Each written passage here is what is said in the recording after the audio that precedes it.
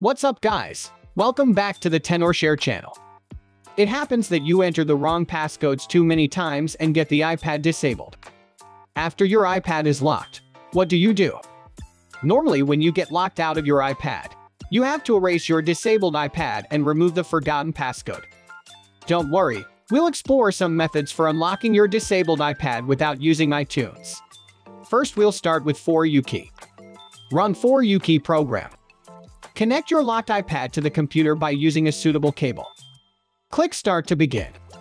If the program detect your iPad, click Next to go on.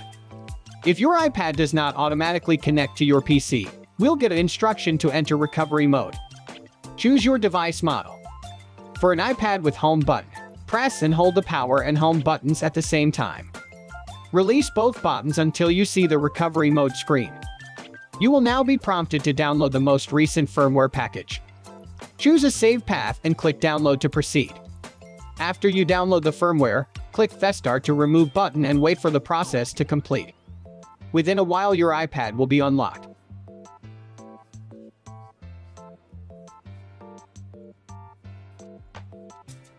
Well done, now we are on the hello screen. Let's go ahead and set it up. We can restore a backup or transfer from another device. Or you can restore your data back if you have backups in iCloud or iTunes.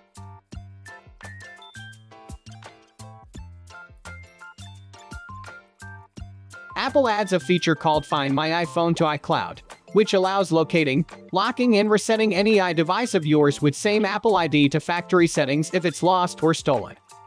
Given that you can unlock disabled iPad with iTunes, you can imagine your device as the missing device instead and implement a remote erase to unlock it. Go to iCloud.com on a computer. Click on Find My and select your locked iPad from the list of devices. Click on Erase iPad. Once the erasing process is complete, you can set up your iPad as a new one. That all for today. Thanks for watching. For more tutorials like this, subscribe to the TenorShare channel. See you next time.